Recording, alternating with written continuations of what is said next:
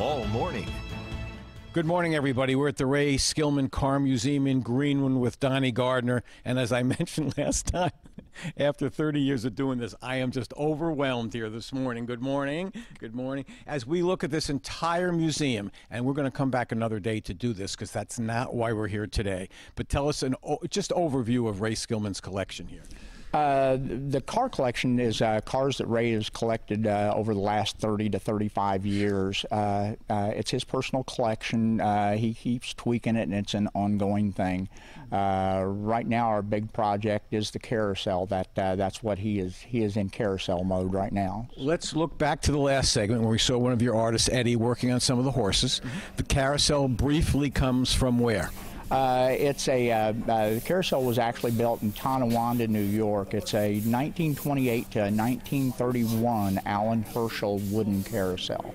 Uh, Ray bought it from the Tony Hulman Foundation at the Indianapolis Motor Speedway. When it was in thousands of parts. it was in a lot of parts.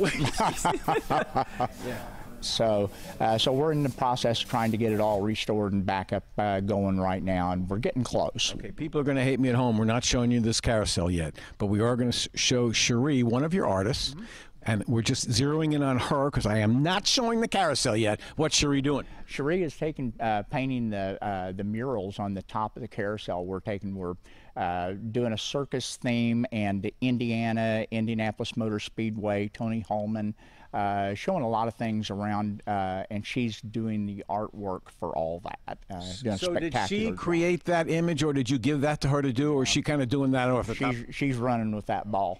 That Are, uh, are you really, Cherie? Say it not so loud. You, you're making this up as you go along. shooting from the hip. She's shooting from the hip. Wow, Yep. that's an incredible story. So we really don't know what this originally looked like up there. Uh, it uh, had a little Art Deco style to it, and uh, and we were trying to class it up a little bit. It's got a lot of Indiana history, and uh, and so we're just trying to bring the history and the carousel all together in one piece, and it's turned out pr- pretty good. Okay. I will end the tease in the third segment. We will show what this carousel looks like after how many months of restoration? We've we've been working on it nonstop since March. Since March. We will show you the almost completed carousel, and then in the final segment, we're going to s- hit the switch and watch it turn. You don't want to miss this. We'll be back.